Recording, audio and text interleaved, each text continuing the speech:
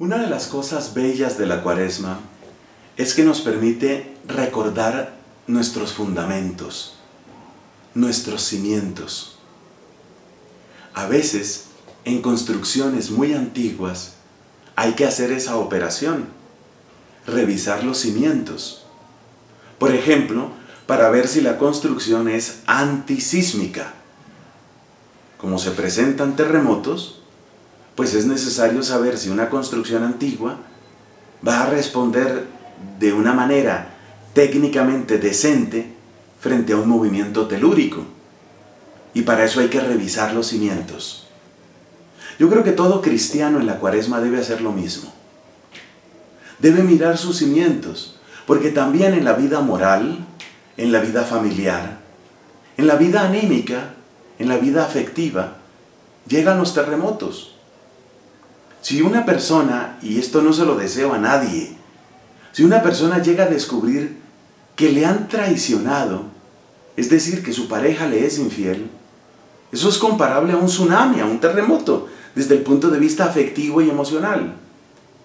Si otra persona tiene que descubrir con espanto que efectivamente sí tiene esa enfermedad incurable, irreversible, progresiva que estaba temiendo, pues esto va a removerlo profundamente.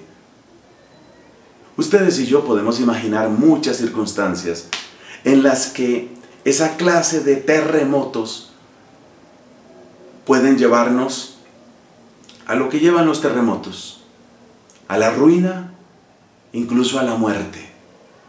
La muerte de la alegría, la muerte de la esperanza, o en casos extremos, la muerte de la vida entera. Hay gente que prefiere suicidarse ante una mala noticia o ante una enfermedad. Así que hay que afianzar los cimientos.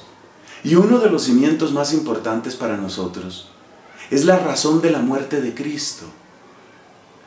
Es, muy importante tener claro esto, que la manera como Cristo estaba viviendo tenía que conducir al sacrificio.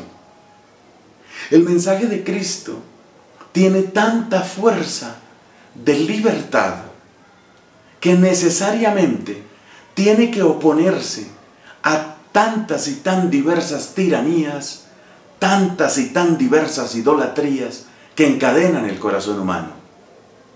Precisamente porque el Evangelio es buena noticia, por eso Jesús va camino de la cruz, porque esa buena noticia es la que muchas fuerzas de este mundo no quieren que sea escuchada. Las personas que han asegurado un mercado para el pecado no llaman al Evangelio buena noticia. Las personas que han asegurado un mercado para la promiscuidad, para la pornografía, no pueden ver con alegría que la iglesia propague, por ejemplo, un mensaje de fidelidad, de castidad, de abstinencia.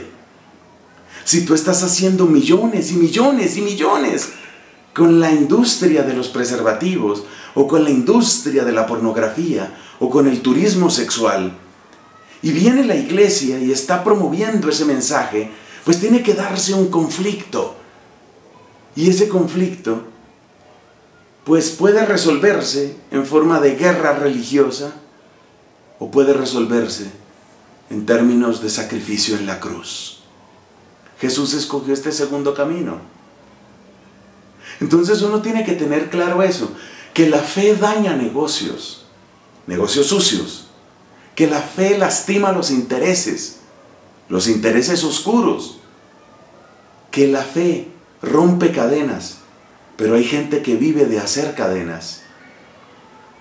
Así que mis hermanos, volver a ese fundamento, tener claro que la fe implica esos rompimientos, cuando llegue el temblor y cuando empiecen a hacerte sentir que eres tonto, que eres ridículo, que eres atrasado, porque sigues creyendo, pues ese temor y ese temblor no van a destruir lo que tú eres, porque tú vas a estar firme en Jesucristo, el que entregó su vida para que tú tuvieras vida.